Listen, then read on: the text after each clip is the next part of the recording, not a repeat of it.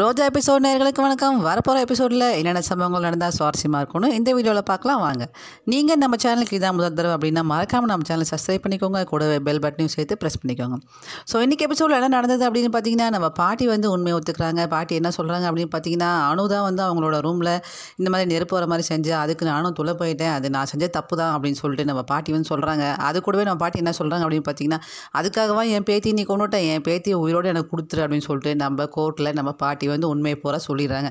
So இதை கேட்டு நம்ம ஜட்ஜை என்ன பண்ணுறாங்க அப்படின்னு பார்த்தீங்கன்னா ஸோ உண்மையிலேயே அணு வந்து அணுவும் நீங்களும் சேர்ந்து தான் வந்து அர்ஜுன் ரோஜாவை தீர்த்துக்கிட்டதா பிளான் பண்ணியிருக்கீங்க ஸோ அது தெல்ல தெளிவாக தெரியுது அப்படின்னு சொல்லிட்டு நம்ம ஜட்ஜ் வந்து சொல்ல போகிறாங்க ஸோ இது மட்டும் இல்லாமல் நம்ம அர்ஜுன் என்ன பண்ண போகிறாரு அப்படின்னு பார்த்தீங்கன்னா இந்த ஃபுட்டேஜ் ஒன்று எடுத்தது இல்லையா அந்த ஃபுட்டேஜ் வந்து காட்ட போகிறார் அந்த ஃபுட்டேஜில் என்ன இருக்க போகுது அப்படின்னு பார்த்தீங்கன்னா நம்ம அணு ரோஜாவும் சண்டை போடும்போது இந்த மிரரில் இந்த ஷேடோ வந்து நம்ம பாலச்சித்தப்பாக தான் இருக்கும். ஸோ அந்த ஆதாரத்தையும் வந்து நம்ம அர்ஜுன் வந்து காட்ட போகிறாரு ஸோ இந்த ரெண்டு ஆதாரத்தையும் பார்த்தோன்னா நம்ம ஜட்ஜ் வந்து என்ன முடிவுக்கு வர போகிறாங்க அப்படின்னு பார்த்தீங்கன்னா அணு வந்து நல்லாவே தெரியுது அவள் தான் பிளான் பண்ணியிருக்கா அப்படின்னு சொல்லிட்டு. ஸோ அதுக்கப்புறம் நம்ம ஜட்ஜ் என்ன பண்ண போகிறாங்க அப்படின்னு பார்த்தீங்கன்னா இன்னொரு வீடியோ அதாவது நம்ம டைகர் மனைவி காட்டின அந்த இன்னொரு வீடியோவில் நம்ம அணு வந்து ரோஜா தள்ளி விட்டதா சொல்கிறாரு ஸோ ஆனால் அந்த வீடியோவில் என்ன இருக்கும் அப்படின்னு பார்த்தீங்கன்னா நம்ம ரோஜா வந்து அணுவை தாங்கிறதுக்காக பிடிச்சிட்டு இருந்ததெல்லாம் வந்து அந்த ஃபுட்டேஜில் காட்ட போகிறாங்க ஸோ இதுக்கப்புறம் நம்ம ஜட்ஜ் வந்து என்ன தீர்ப்பு கொடுக்க போகிறாங்க அப்படின்னு பார்த்தீங்கன்னா நம்ம ரோஜா மேலே எந்த தப்பும் இல்லை அப்படின்னு சொல்லிட்டு நம்ம ரோஜாவை விடுதலை செய்ய போகிறாங்க அது கூடவே என்ன சொல்ல போகிறாங்க அப்படின்னு பார்த்தீங்கன்னா நம்ம டைகர் மாணிக்கத்தை வந்து வான் பண்ண போகிறாங்க நம்ம அன்னபூர்ணி பாட்டியை ஒரு நாள் சிறைக்குள்ளே வச்சு அவங்க வந்து விசாரிக்கணும் அப்படின்னு சொல்லிட்டு தீர்ப்பு கொடுக்க போகிறாங்க ஸோ என்ன நடக்க போது நம்ம பொறுத்திருந்து பார்ப்போம். இந்த வீடியோ உங்களுக்கு பிடிச்சிருந்தா லைக் பண்ணுங்கள் ஷேர் பண்ணுங்கள் மறக்காமல் சப்ஸ்கிரைப்